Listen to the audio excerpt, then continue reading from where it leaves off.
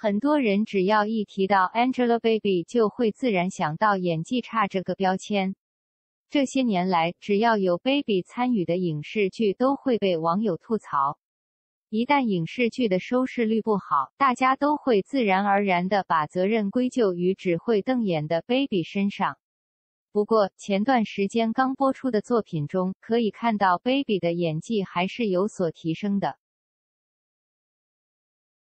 看来，只要 Baby 有心转型的话，他还是有一定潜力的。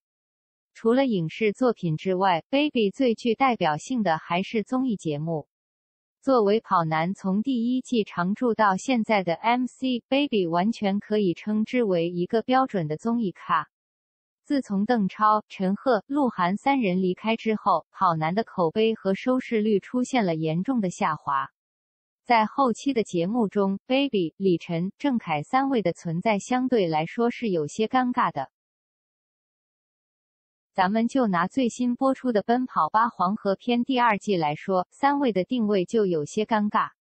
你要单纯从这一季的收视率来说，和同类综艺对比，跑男确实是碾压对手的。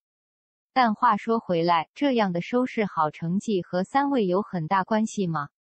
每期节目播出之后，基本上都会上几条热搜，这也是证明嘉宾价值的最好体现。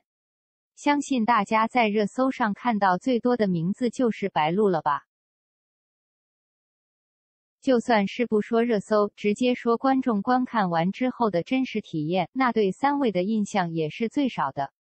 即便如此，我在评论区经常会看到吐槽 baby 镜头多的声音，而且有这种思想的网友还不是少数，甚至有人说看到 baby 就烦。